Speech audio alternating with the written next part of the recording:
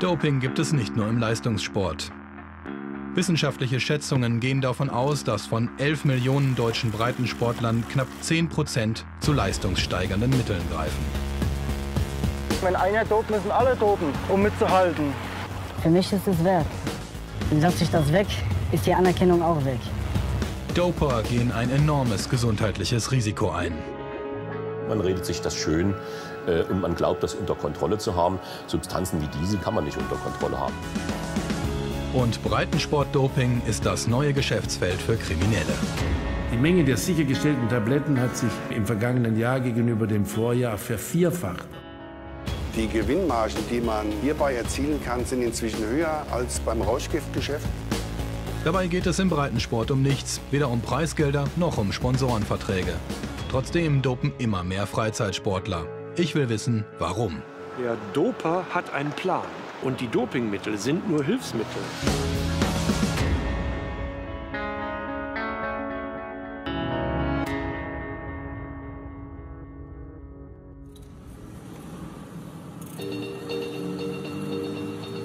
Von Beruf bin ich Journalist. Deshalb will ich wissen, wie dieses Phänomen aus dem Leistungssport Eingang in den Breitensport finden konnte.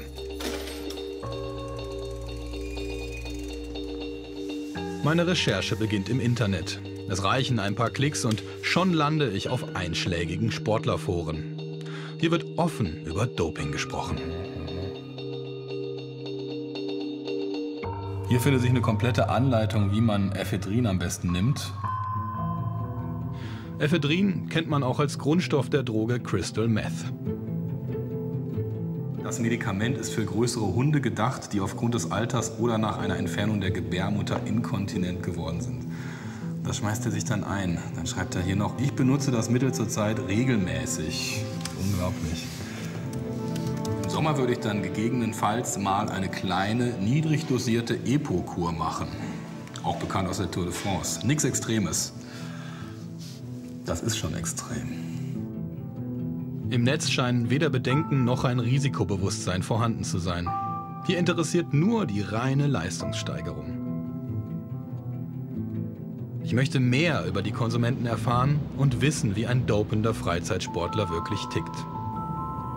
Darum habe ich mich mit einem Fußballer verabredet, der in einem Amateurverein spielt und dopt. Kaum jemand will zu diesem Thema vor die Kamera. Hat er es sich vielleicht doch noch mal anders überlegt?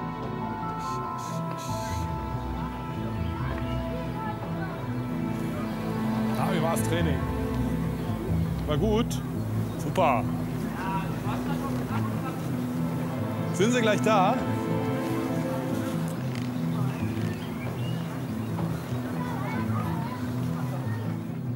Der Sportler hat sich bereit erklärt, anonym über sein Doping zu sprechen. Für das Gespräch nennen wir ihn Pedro. Er ist Anfang 20 und Stürmer in der Kreisliga. Mit dem Dopen hat er erst vor einem knappen Jahr angefangen, um seine Leistung als Torjäger zu verbessern. Ich spiele schon seit mein viertes Lebensjahr, seit circa 19 Jahren. Das ist das, was mich ausmacht. Das ist mein wirklich, man kann das eigentlich sagen, dass es mein Leben ist. Das ist Misteron. Und das ist Sustanon. Das ist dafür da, dass du Masse aufbaust. Das ist für die Muskeln, dass du starke Muskeln und für die äh, Distanzläufe, was du machst. Ich mache das, um halt mehr rauszuholen, mehr, mehr aus meinem Körper rauszuholen. Ich weiß, dass mein Körper mehr kann. Und wenn ich das nehme, dann fühle ich mich auch besser. Ich fühle mich stärker als die anderen. Manchmal spiele ich auch überheblicher als die anderen, weil ich weiß, dass ich das genommen habe und denen überlegen bin. Pedro dopt, um seinen Körper wie eine Maschine zu tunen. Ich werde seine Medikamente von einem Experten analysieren lassen. Meine Recherche führt mich in den Osten der Republik, zu einem Dopinglabor in der Nähe von Dresden.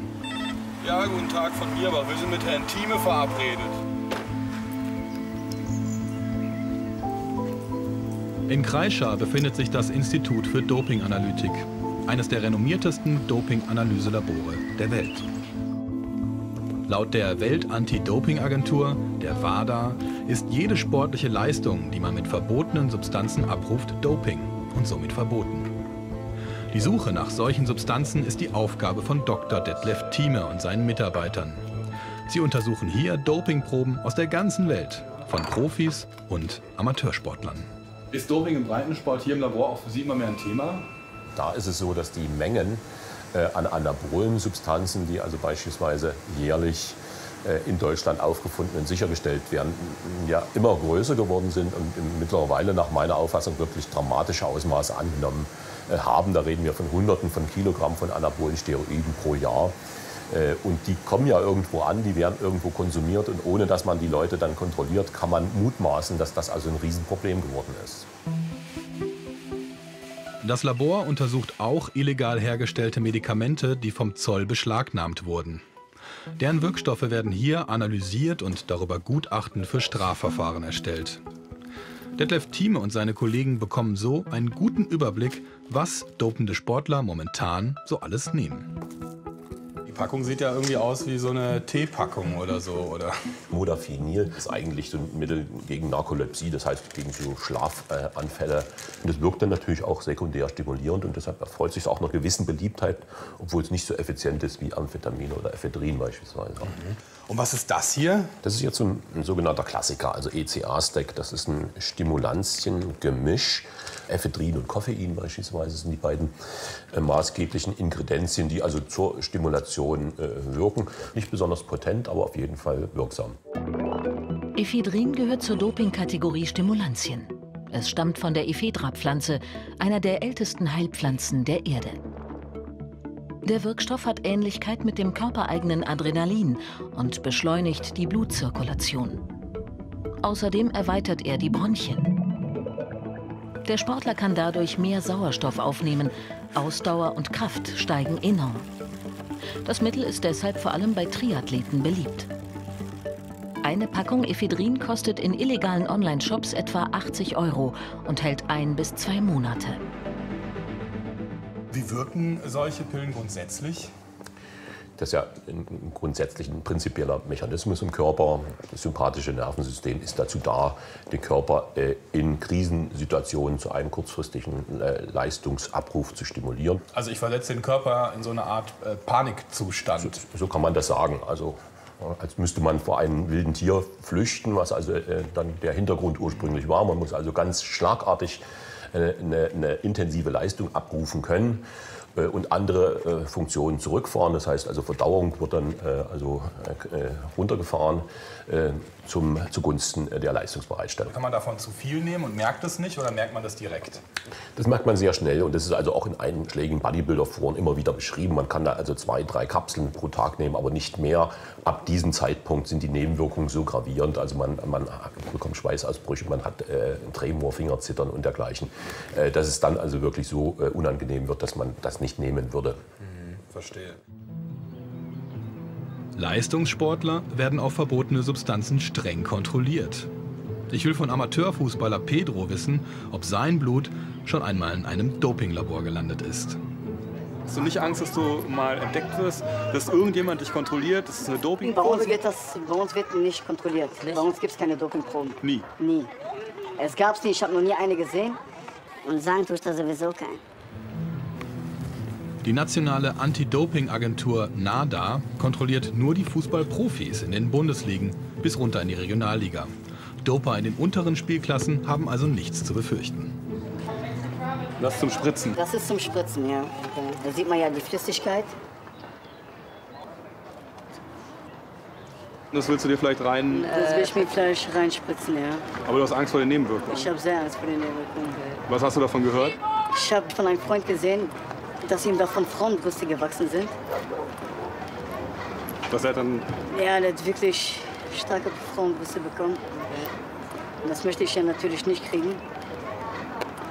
Und du äh, willst es aber machen? Ich will es sehr wahrscheinlich noch tun, ja. Pedro weiß ganz genau, dass er seinem Körper mit Doping schadet. Aber warum geht er dieses Risiko trotzdem ein?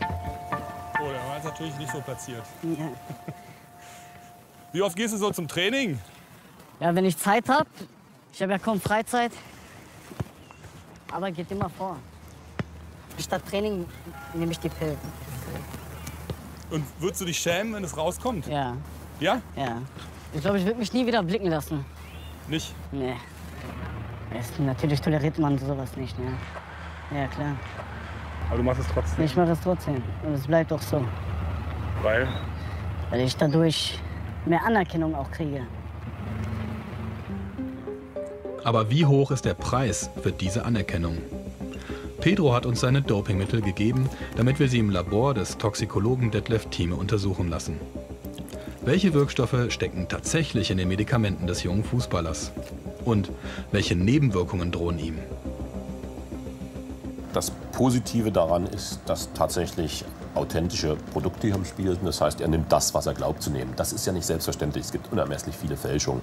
Und hier hat er also zwei äh, Präparate, die also äh, richtiggehend verboten sind. Anabole Steroide zum Muskelaufbau. Das eine ist ein Gemisch von Testosteron, Ester, so ein Depotpräparat. Spritzt man einmal und dann wirkt das ein paar Wochen und Monate.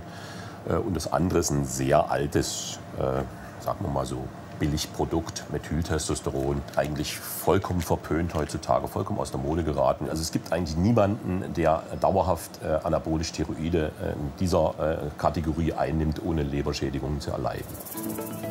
Anabole Steroide wurden zunächst bevorzugt von Kraftsportlern genommen. Inzwischen ist der Stoff in allen Hobbysportarten angekommen. Sie werden künstlich hergestellt und sind dem Sexualhormon Testosteron nachempfunden. Anabole Steroide werden oral eingenommen oder direkt in den Muskel injiziert. Gelangt das künstliche Hormon in die Muskelzellen, vergrößern sie sich und vermehren sich schneller. Dadurch wird der Muskelaufbau enorm beschleunigt, ohne dass man lange dafür trainieren muss. Man wird stärker. Ein kurzfristiger Erfolg mit langfristigen Folgen. Die unmittelbaren Nebenwirkungen sind Schweißausbrüche, Steroidakne und Impotenz. Die längerfristigen Folgen sind schwere Organschädigungen. Es drohen Leber- und Nierenversagen. Das Herzinfarktrisiko steigt um das vier- bis fünffache. Hier wähnt man sich in einem sicheren Fahrwasser, weil man also sich muskulös und äh, körperlich gut beieinander wähnt und die Nebenwirkungen, die allmählich einsetzen, äh, redet man sich schön. Auf lange Sicht sind das sicherlich äh, die gravierendsten, problematischsten Substanzen, die ich mir vorstellen kann. Und ich habe in meinem Leben äh, sehr viel mehr Anabolika-Tote gesehen als äh, Tote infolge der Einnahme von Stimulantien oder von Amphetaminen. Man, man redet es sich schön und man unterschätzt diese Risiken, diese langfristigen Risiken ganz erheblich. Die Ergebnisse von Detlef Thieme und das Gespräch mit Pedro lassen mich ratlos zurück. Dopende Spitzensportler stehen immerhin ständig unter gesundheitlicher Kontrolle. Das fehlt im Breitensport völlig. Die Gefahr für die Gesundheit ist extrem hoch und es drohen langfristige körperliche Schäden. Sie könnten durch die Nebenwirkungen sogar sterben. Und das alles nur für mehr Anerkennung. Der Marathon in Bonn. Hier starten jedes Jahr über 12.000 Läufer. In den letzten Jahren nahmen in Deutschland über 2 Millionen Teilnehmer an Volks- und Straßenläufen teil. Insbesondere ein Marathon mit 42 Kilometer Laufstrecke ist ohne professionelles Training kaum zu bewältigen. Vor allem nicht ohne Schmerzen. In einer wissenschaftlichen Studie der Universität Erlangen aus dem Jahr 2009 gaben 62 Prozent aller Teilnehmer des Bonn-Marathons zu, dass sie vor dem Start Schmerzmittel genommen haben, nur um das Rennen durchzuhalten.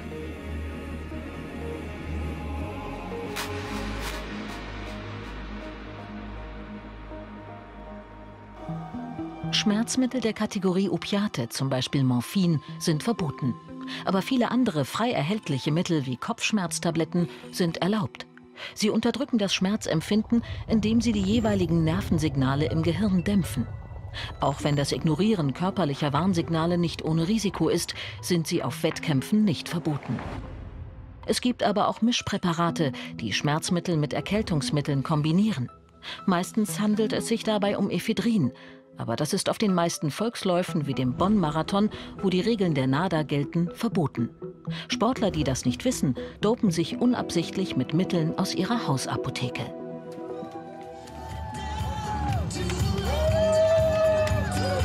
widmen wir uns jetzt wieder dem Breitensport hier unten. Und holen die, die jetzt ins Ziel kommen, mit einem kräftigen, donnernden Applaus ab. Ich mache den Test und befrage mit einer rollenden Hausapotheke junge Läufer, ob sie wissen, welche Mittel erlaubt sind und welche nicht. Entschuldigung, seid ihr bei dem Lauf mitgelaufen? Du bist mitgelaufen? Ihr seid beide 42 Kilometer? Ja. Wahnsinn, herzlichen Glückwunsch erstmal. was glaubt ihr, was ist von diesen Medikamenten hier erlaubt und was ist verboten? Laut NADA-Liste. Voltaren ist erlaubt, glaube ich. Ja. Ich auch. Äh, ich meine, Aspirin ist nicht erlaubt. Ein Blutverdünner. Aspirin-Komplex darf man nicht nehmen, aber nicht wegen Aspirin, sondern weil da ähm, Pseudoephedrin drin ist. Das ist so ein ähm, Stimulanz. Ich habe Voltaren genommen. Ist da gilt als Schmerzmittel? Das ist auch ein Schmerzmittel, ja. Hast Ja. du Tabletten genommen oder die Nein, Beine eingeschmiert? Die, der, nur den C, weil der wehtut. Aber nur weil der taub ist seit ein paar Wochen. Viele Medikamente aus der Hausapotheke beinhalten laut NADA Substanzen, die bei sportlichen Wettkämpfen verboten sind oder für die Höchstwerte im Blut oder Urin gelten. Aber welcher Hobbyläufer kennt sich schon so genau mit komplexen Dopingregelwerken aus? Was ist verboten für so einen Lauf? Man darf nichts nehmen außer Schmerzgel höchstens. Du sagst, man darf gar nichts nehmen. Also ich denke nicht. Also ich weiß aber nicht, was man nicht im Blut haben dürfte. Um okay. Aspirin-Komplex? Das meins. Dein Lieblingsdopingmittel, oder was? Meinst du, das ist erlaubt vor dem Lauf oder nicht? Muss. Aspirin glaube ich nicht. Glaubst du nicht? Wie Okay. erlaubt? Das ist auch nicht erlaubt. Also das, äh, ähm, da ist ähm, Ephedrin drin, also äh, Pseudoephedrin. Ich, ich würde es selber nicht machen. Ähm, die Gefahr ist einfach viel zu groß, dass du dann über die Grenzen vielleicht gehst. Was darf man davon nehmen? Vorm, vorm Lauf? Vorm Lauf und was nicht? Ich nehme nichts vorm ich Lauf. nehme nichts vorm Lauf. Und was deswegen- glaubt ihr, was man nehmen darf? Nichts davon. Nichts Sollte davon? man, ja, damit man auf den Körper hört. Und die weiß Schmer es nicht. Schmerzsymptome sind ja auch ein Zeichen dafür, dass man aufhören sollte. Ja. Also Und- ist meine Meinung. Ähm, glaubt ihr, dass das ein Problem ist äh, bei so Massensportveranstaltungen? Ja, absolut. absolut. Schlimm genug, wenn bewusst gedopt wird. Aber noch schlimmer ist es, wenn viele aus Unwissenheit ihre Gesundheit aufs Spiel setzen. Wer trägt da die Verantwortung? Gerade auf sportlichen Massenevents. Der Veranstalter muss keine Dopingkontrollen durchführen. Volksläufe sind Privatveranstaltungen und somit sind die Organisatoren nicht verpflichtet, die Teilnehmer zu kontrollieren. Sie appellieren nur an deren Verantwortung.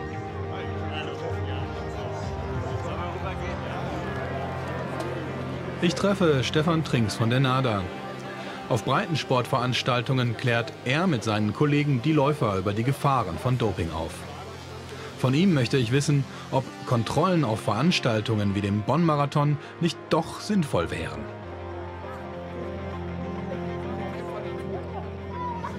Das hier so deine alte Wirkungsstätte, die Toiletten da Die Toiletten?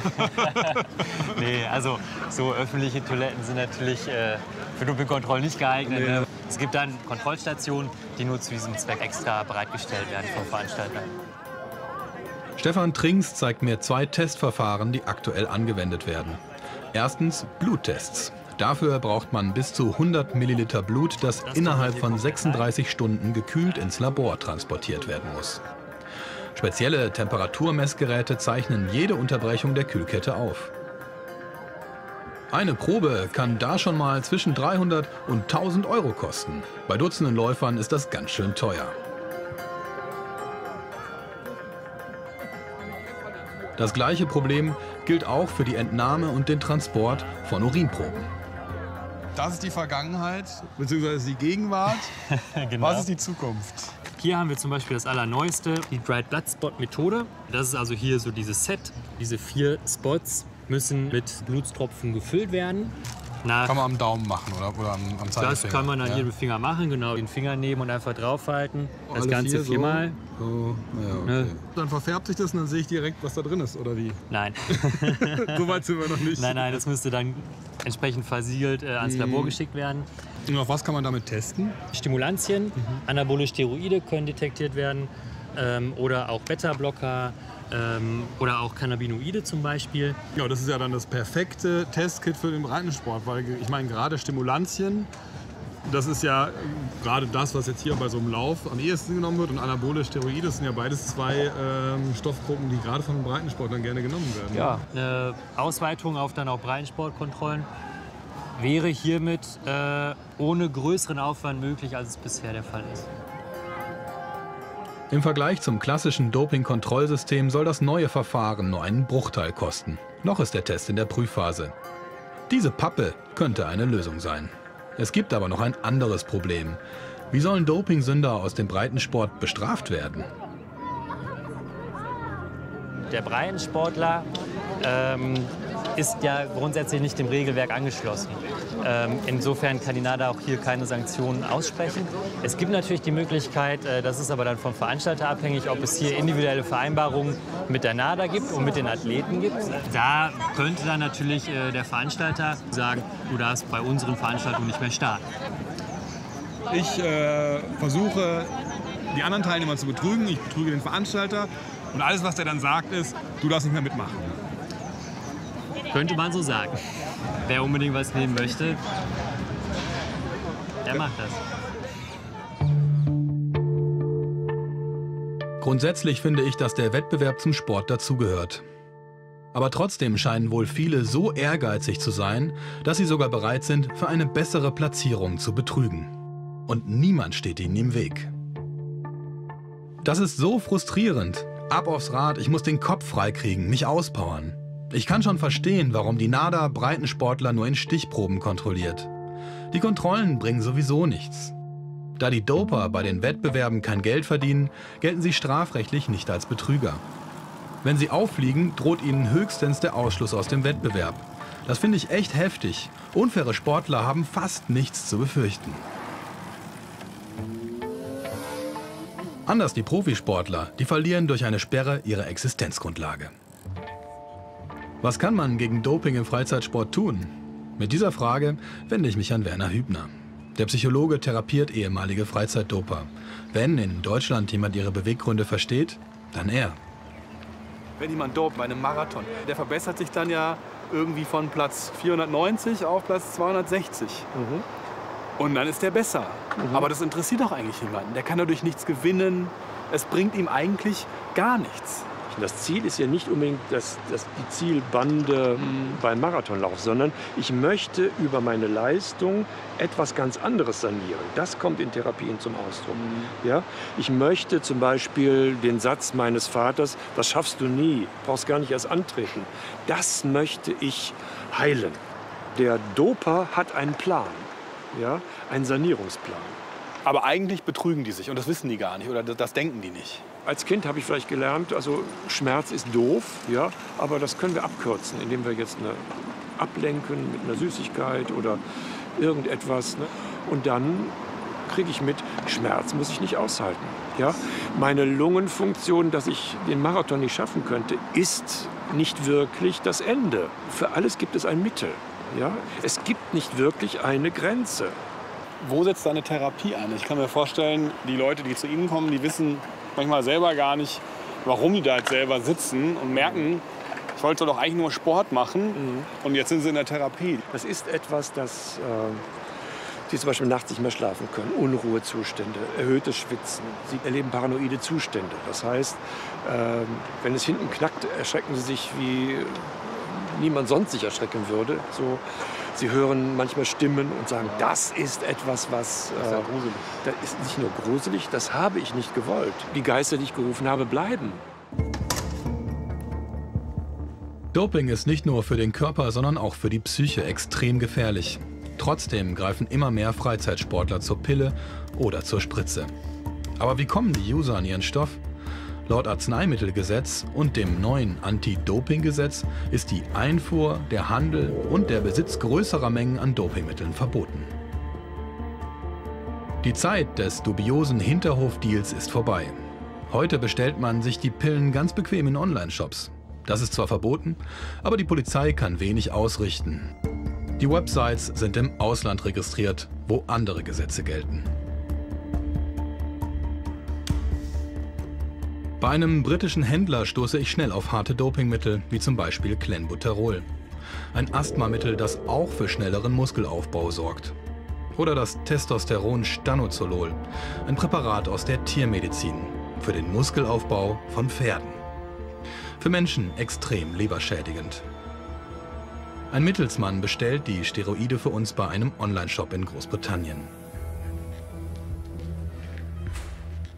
Sieben Tage später ist die Ware da. Ein paar Klicks und die Kreditkarte reichen also, um an hochgefährliche und vor allem illegale Substanzen zu kommen. Und es ist genau die im Internet beschriebene Substanz drin. Das bestätigt uns das Institut für Dopinganalytik in Kreischa. Ich will wissen, wie solche Bestellungen so unkompliziert nach Deutschland eingeschleust werden können. Der Flughafen Frankfurt. Alle Bestellungen aus dem Ausland machen hier einen Zwischenstopp.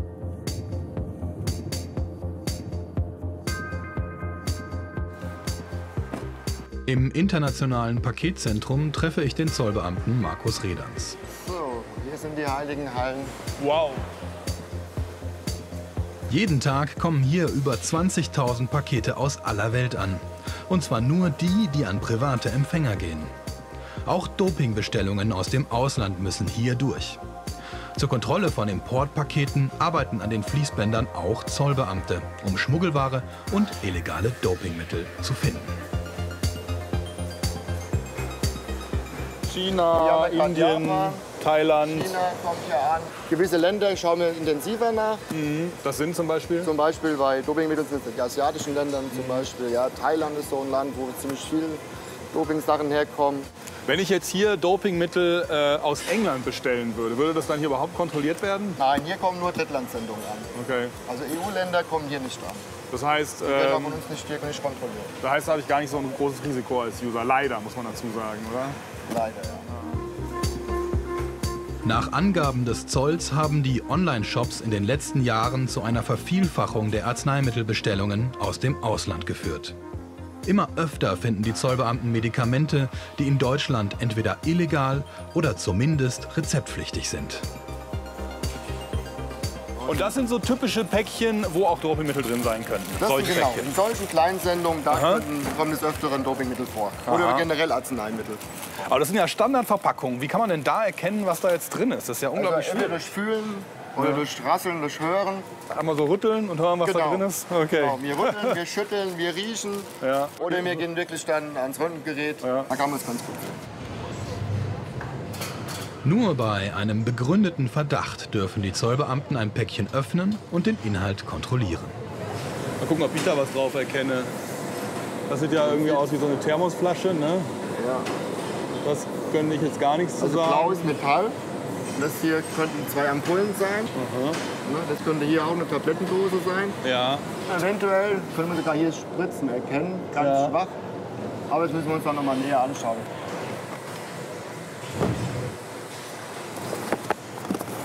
Kann ich auch mal? Kann ich auch mal? Auch mal. Ist irgendwas nicht- Schweres drin. ja, klingt nicht nach Pillen. Klingt nicht nach Tabletten, ja. Okay. Aber hier, da könnte man, könnte man unser Päckchen vielleicht füllen. Wenn man hört. Ja. ja. Ich würde sagen, machen wir mal auf. Ich bin gespannt. Ich schütze gerade mal aus. Hier haben wir Beispiel mal Spritzen. Uiuiui. Testosteron. Ach echt? Ja, in Ampullenform. Wahnsinn. Ja. Auch hier schon die, die Spritzen dazu. Ist alles dabei. Alles schon dabei, genau. Das heißt, so Päckchen kommen hier täglich rein. Ja, täglich jetzt vielleicht nicht, aber. Sie finden täglich aber wir, keine. aber wir finden schon des Öfteren der Woche Dopingmittel oder Arzneimittel. Okay. Was blüht dem Besteller? Muss der jetzt äh, eine Gefängnis- oder eine hohe Geldstrafe fürchten oder ist es relativ glimpflich? Also wenn ein Absender draufsteht, wird natürlich auch gegen den auch ermittelt, aber in der Regel steht da meistens kein Absender auf der Verpackung drauf. Gegen den Empfänger wird auf jeden Fall ermittelt. Aber mal jetzt mal ganz ehrlich, ähm, es kommen wahrscheinlich so viele Päckchen an, dass es fast unmöglich ist, die alle zu kontrollieren, oder? Also es ist wirklich unmöglich, alles zu kontrollieren. Aber wir schauen immer risikoorientiert viele Sendungen an, also wirklich sehr viele Sendungen an. Aber alles geht, geht einfach nicht. Verstehe. Da dann hätte Tausende von Kollegen, die wirklich täglich hier kontrollieren würden. Bei diesen geringen Mengen droht dem Besteller nur eine Geldstrafe von unter 100 Euro wegen illegaler Einfuhr von Arzneimitteln.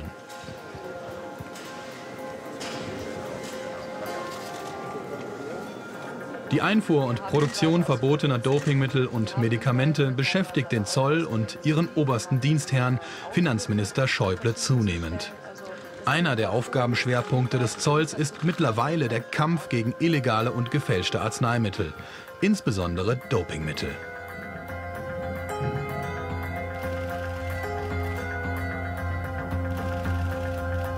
Die Menge der sichergestellten Tabletten hat sich im, im, im vergangenen Jahr gegenüber dem Vorjahr vervierfacht auf vier Millionen Stück. Und so richten, führen, richten sich die Ermittlungen der Zollfahndung immer stärker gegen größere kriminelle Strukturen. Wer also Dopingmittel konsumiert, unterstützt womöglich auch kriminelle Strukturen.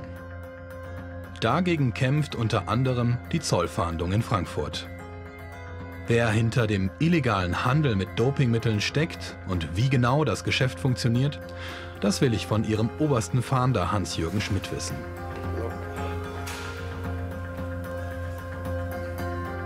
Ein Großteil der beschlagnahmten Mittel stammt aus illegalen Untergrundlaboren in Deutschland.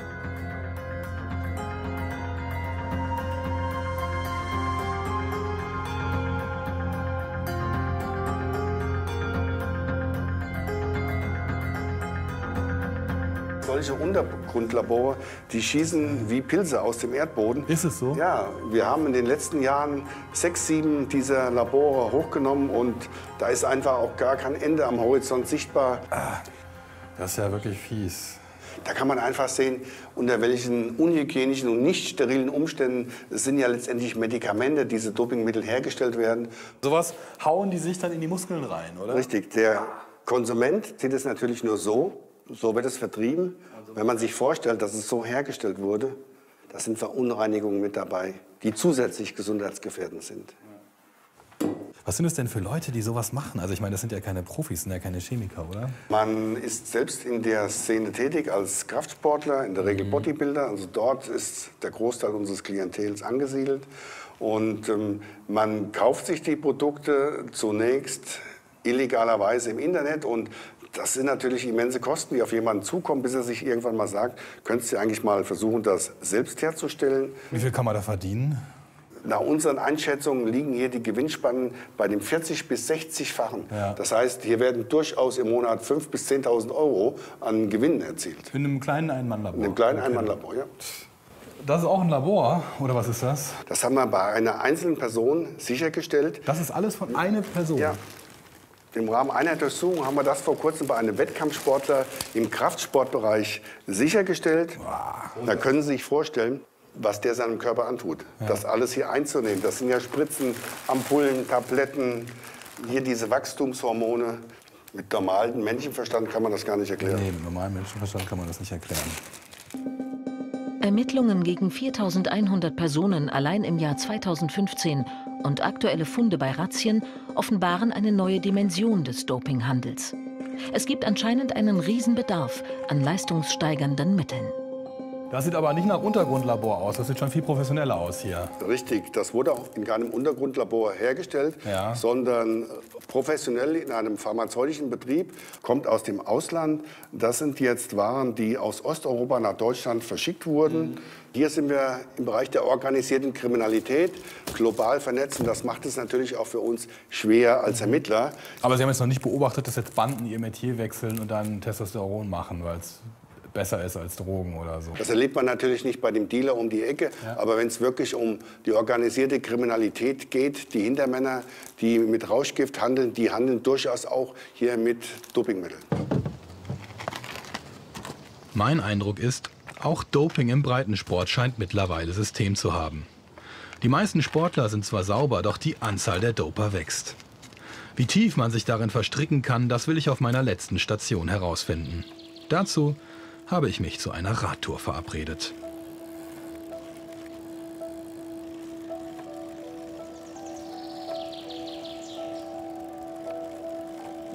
Philipp Schulz ist Hobby-Radsportler und ein ehemaliger Doper. Jahrelang konsumierte er Aufputschmittel und Steroide, um ganz vorne bei Amateurradrennen mitfahren zu können. Ja, Radfahren macht enorm viel Spaß. Also ist doch schön, man kann die Natur erleben, kostet nichts und man hält sich fit. Also das äh, auf jeden Fall. Training macht immer Spaß. Ja. Wenn man mit sowas anfängt, dann denkt man wahrscheinlich äh, lange nicht an Doping, oder? Nein. Nein, man denkt, äh, man kann durch Training halt besser werden und vielleicht hier noch ein bisschen besseres Material und vielleicht noch mal das eine oder andere Kilo runter. Ja, man möchte halt auch mal gewinnen oder irgendwo was vorne, vorne erreichen. Und äh, wenn man dann merkt, dass, dass äh, manche halt schummeln, dann fragt man sich halt schon, wo wäre ich, wenn ich es auch mache. Ja? Wenn man dann die Sachen da rumliegen sieht und so, dann kann man sich halt so seinen Teil denken. Und auch was nehmen. Ja, dann denke mal, ja. Also keiner redet drüber, aber alle wissen es oder wie läuft es? Oder spritzt sich auch mal jemand direkt eine Spritze vorm Rennen? Ist das so offen? Das, ähm, also wie ich angefangen habe, war das schon ein bisschen länger her. Da war das schon relativ offen. Es gab ja gar keine Kontrollen. Und ähm, die Großen haben es auch gemacht. Und die, die kleinen Regionalfahrer oder so, die haben es halt auch gemacht. Und die hatten da keine Scheu oder so.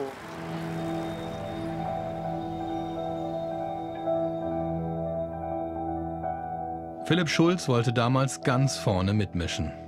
Regelmäßig nahm er mit einem Amateurteam an diversen Meisterschaften teil. Seine Hoffnung? Übers Doping zum Profifahrer werden. Es kam mit dem Trikot oder mit dem, mit dem Radreifen lag's dabei sozusagen. Ne? Echt? Ja, ich habe es da nicht gekauft. Es wurde, es wurde mir angeboten, sage ich jetzt mal. Da war alles verfügbar über EPO, Wachstumshormone. Wir haben sich im Training, in der Trainingsphase im Trainingslager schon EPO gespritzt. Na, also es war irgendwie so eine Art Gruppenzwang und ich habe mich da genötigt gefühlt, da mitzugehen. Es kommt einfach eins zum anderen. Philipp Schulz litt nie unter irgendwelchen Nebenwirkungen. Das gibt er zumindest an. Vielleicht rettete ihn auch eine Kontrolle. Ein positiver Steroidbefund beendete seine Doping- und Radrennkarriere. Um einer langen Sperre zu entgehen, sagte er als Kronzeuge gegen Dealer und Mitdoper in seinem Team aus. Ich sehe mich als Mitläufer. Ja, auch wenn sich das jetzt komisch anhört, ich weiß, man möchte sich ja immer so ein bisschen auch selbst ein bisschen besser dastehen lassen oder so, aber ich finde, ich bin noch relativ spät zum Doping gekommen. Also ich bin eine relativ lange Zeit sauber gefahren. Ich habe auch ganz oft schon Nein gesagt, ja. Was, mich so, was mir so ein bisschen aufstößt, ist, verstehe das nicht falsch, dass du dich als Opfer siehst. Aber es ist ja doch schon auch die äh, Entscheidung jedes Einzelnen. Klar, also es wird ja niemand gezwungen, aber wenn man halt Nein sagt, gehört man nicht dazu. Wenn man Ja sagt, läuft man in Gefahr, äh, aufzufallen. Ja, aber es ist, ist eine kleines, äh, kleine Zwickmühle, in die man ist, ja. Ist das, ist das eine Gefahr für Jugendliche im Prinzip, wenn die halt äh, in so ähm, Radsportvereinen auch sehen, dass äh, gute Fahrer dopen und dass die dann selber damit anfangen? Na, natürlich. Es ist und bleibt präsent. Selbst bei Amateurrennen hier, wenn es um die, äh, wenn es um einen Ring Fleischwurst geht oder um einen Benzinkanister oder sowas oder um das Weinfest neben dem Radrennen. Es gibt einfach Leute, die wollen sich überall profilieren. Und wenn es nur nur bei Amateurrennen ist, obwohl es eigentlich total, oder im Sportbereich, obwohl es eigentlich total nebensächlich ist, ja.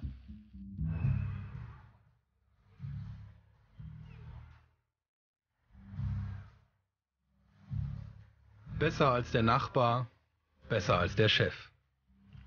Neid und kranker Leistungswille sind Symptome unserer modernen Gesellschaft. Was und wie wir leben, geben wir an unsere Kinder weiter. Sie wachsen auf mit Leistungsdruck, falschem Ehrgeiz und dem Wissen, sie können nachhelfen.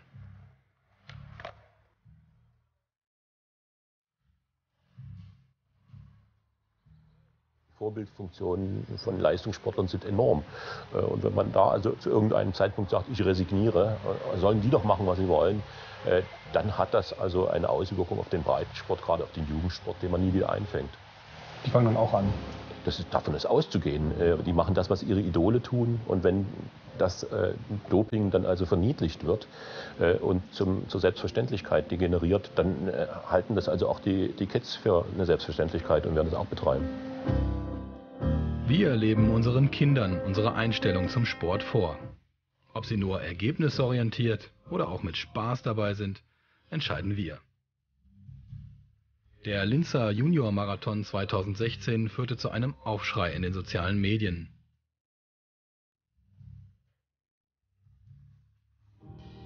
Ersten Moment müssen wir Kindern auch mit Werten des Sports mal äh, sensibilisieren. Was sind Werte des Sports? Warum macht man überhaupt Sport? Ähm, was der Sport leisten kann an positiven Dingen, wie, wie, man, ähm, wie ein Kind wächst im Sport, ähm, sowohl im Charakter als auch dann in der Wertebildung. Und ich glaube, das ist einfach ein ganz wichtiger Punkt, dass man das auch an die Eltern weitergibt und mit den Eltern zusammen bespricht. Das wird uns möglicherweise suggeriert, dass nur die Personen, die tatsächlich oben auf dem Treppchen stehen, wertvolle Personen sind. Es müsste der Gedanke wieder in der Gesellschaft sein, niemand ist jenseits seiner Möglichkeiten verpflichtbar. Dass wir selbst auch wieder ähm, von diesen externen Leistungsgedanken nochmal zurück zu uns selbst kommen und sagen, mehr ist nicht drin, sorry. Eigentlich ist es ja so, dass man sich in seiner Freizeit erholen soll. Und auch Sportler machen das ja eigentlich aus Spaß. Es müsste die Freude wieder zurückkehren. Die Freude an der Bewegung selbst, die Freude in Gemeinschaft etwas herzustellen, als Mannschaft irgendwie sich zu erleben, sei es, dass vielleicht im günstigsten Fall Glückshormone wir gespürt haben, aber überhaupt das Betätigen selbst, dieses ist schon belohnt genug. Ja, wir haben zwar verloren, aber es war so geil, heute hier zu spielen. Ja, das müsste gefördert werden.